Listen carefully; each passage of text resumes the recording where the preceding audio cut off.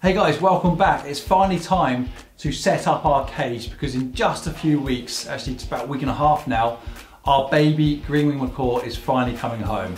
Still doesn't have a name, we still don't know what sex it is, but that's irrelevant. Hopefully will by the time he, she gets here.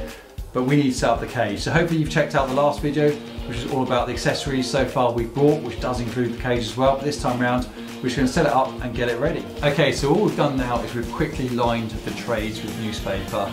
So a bit of a tip there, don't put your wood chippings directly into your trays. Put newspaper down, then it will absorb any liquid that goes through the chippings onto the metal of the cages. Because eventually it will start to tarnish the metal and could eventually cause some rust spots as well. So a bit of newspaper, then when you change your entire chipping, change out your newspaper.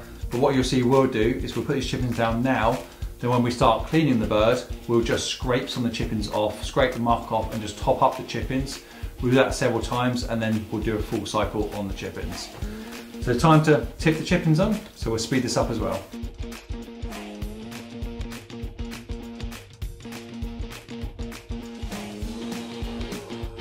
So that's the chippings into the trays with the newspaper lining. As you can see from the close up, we've got about half an inch, three quarters of an inch deep of chippings there, which should be plenty for now. But again, we're still learning as well, so we may need to adjust as we go. But let's get these trays back in the cage, so that's definitely one good step done. Okay, so the trays are lined, the chippings are in top, and the trays are now back into the cage. The next thing is the fun bit. So Louise, let's grab, grab the first toy. So make sure you get rid of any tags or any labels before they go in. So would have nylon, bits of plastic, but it's not really good for the birds. So our cage has got two catches on it. One is released here, then one a small one from the top. That's because all parrots are particularly good at getting out of cages. They work out how to undo nuts, bolts and catches from the inside, believe it or not. Our African grey parrot is particularly good at doing that. Will even undo padlocks as well. So be careful about that. So first of all, should we check out the perch position? Yeah. Okay. So I think we need to change the perches round because, well, this one's close to food bowls. Right. So how about we leave this one here Okay. because it is close to the food bowl. Mhm. So leave it a bit higher, probably about right height because the bird's quite big. Yes. And then this one actually, let's leave that there as well. We're not going to be using these bowls at the front. We're going to be using the two side bowls at the at the side here. Decision that I've just made. Save changing Okay. everything around. Okay. And then what we'll do is let's make sure the toy is almost out of the way. So should we hang it about here? Coming down. The really idea of hanging it over here. So the idea of hanging it over this side is to keep it away from the food and the other perch. You want to make sure um, the macaw is really happy with being able to st- stand on the perch and get to the food at all times and the water as well. So if it wants to come and play, it will come across. Now what we might do is we might find we have to lower this one slightly.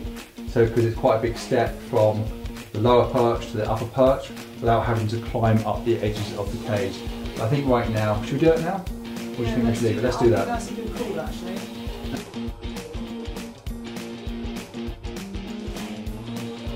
And then we'll move, then we can afford to move the toy across to the next section. That's better. Just tidying up so it doesn't come undone. So what we've done there is we've made it so that the two main poles are crossed over. So it's super easy because don't forget this is a baby macaw. though it's going to be quite a size, it's still an actual baby. It's still learning how to stand properly. Hasn't learned how to fly at all at the moment. We'll be covering that later. So make it easy as possible to step up onto the next perch to go across and also reach across the toy if it wants to. What you don't want to do is put the toys directly over where you're fit, where you're feeding and drinking from. It's just going to be a distraction. It's going to be in the way. Make it super easy to get to that food. So yeah, so this. Just explain this one. Let's cut off the tag. Start off with. If you can take that.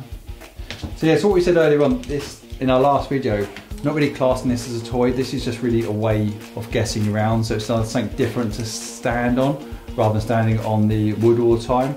It has three mounting points on it. It's one in the center and then one at each each end as well. So we're going to use this as a type of perch. Right, so let's work out what we're going to do. So what we've sorry, just about to see me inside here.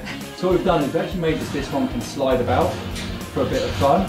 But the other ones can't slide at all. They're on a much smaller piece of metal. So bear that in mind when you're putting your toys in, in there, inside your cage. So how much can they move about inside the cage? If they do move, are they in the way? So there we go, that is our cage set up. So let's do a close up for you. So guys, that is our cage setup. And like I said in the other videos, like we both said in other videos and also this video, now we're not yet experts on macaws. We've had plenty of other birds ourselves, a couple of different parrots. You've already seen um, Grumpy Jed, the hawk as well, which is a Harris hawk. He's not really grumpy, but it's just like what we want to call him. Uh, we've had a couple of Harris hawks and we've also got a Caracara as well. So we are used to birds, we are used to handling birds from parrots to birds of prey but also this first time I had of course. We're kind of a bit of a learning curve with us. You're coming on this journey. You may well find after week one this is completely different and we've got it wrong. If we have, we will let you know. Please, if you liked the video, found it useful, comment below regardless and subscribe to the channel. See you next time.